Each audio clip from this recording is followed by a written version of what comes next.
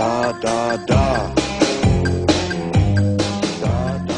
So now let's look at a windowsill. So here is some blocking that will go around the perimeter of the window that will serve to anchor the window or you know provide a fastening um, backing for the window.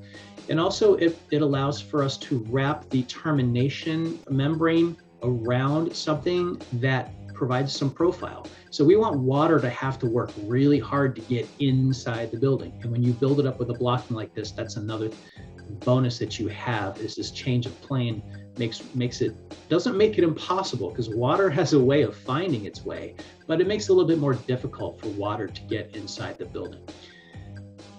So the white material again is the transition membrane. It goes around the window surround and it also goes over the vertical control joint because the air barrier which flies in next usually does not, you know, it is not able to span across that control joint opening. The insulation, you see the wall ties, the window assembly comes in, the brick. Now we're going to have a cast stone sill or a precast concrete sill or a stone sill. Uh, anytime you have a masonry element like a windowsill, we need to flash underneath it. So I just wanted to tell you that the, uh, the flashing is going to come in next because we're going to put masonry on top of it. So here we have a little bit different than what we saw in the last detail. We have the stainless steel is actually the through wall flashing, right? We're not we're not using a stainless steel drip edge and making it a, a, a transition to something more economical. I mean, it looks like the green material we're, we're, we're tying in the stainless to the to the uh, transition membrane behind it. But I wanted to make you aware the stainless is, is a rigid material and we need a rigid material because we're spanning across the cavity. And if you use something flexible that could just droop into or sag into the cavity, uh, you're not really effectively transporting moisture out of the wall.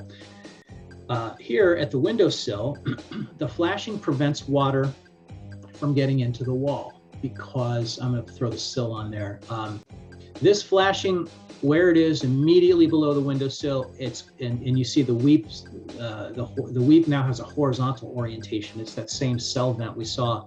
That's the that's the configuration of of a vertical head joint, but it's using a horizontal orientation here because um, that lends itself to how we're going to apply it. So um, so flashing in this case prevents water from getting into the walls. It also provides a slip plane or a bond break.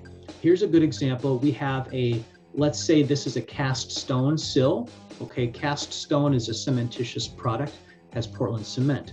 What do we know about everything that has cement in it? We know that it shrinks. What do we know about clay brick? It expands. So look, we have a material that shrinks and a material that expands. What would happen if we did not have flashing separating them? Well, the, the independent movement of those two materials, which is in the exact opposite direction, would be restrained. So in this case, the flashing, it separates the different materials that move differently, and that's good.